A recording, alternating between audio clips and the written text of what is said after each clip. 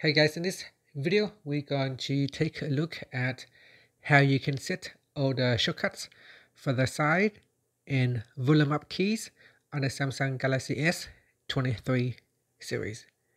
First tap on the home button to go back to the home screen. And from the home screen, swipe down at the top to open up the quick settings panel.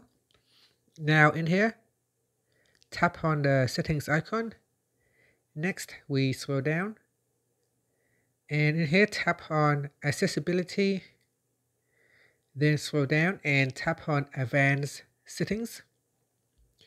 Next, tap on side and volume up keys. In here, scroll down and then choose all the shortcuts that you want to use with the side and volume up keys. So here, let's say if I want to include mute all sounds. I tap on that. There will be a blue checkbox right next to it.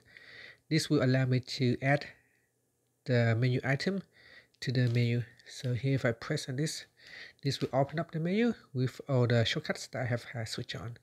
So let's add in another one. So here I will add in link to Windows.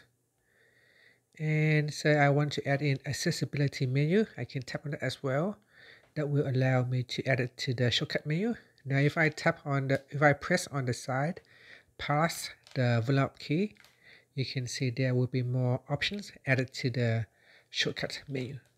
And that's it. That is how you can add in uh, all the shortcuts to the side and volume up keys.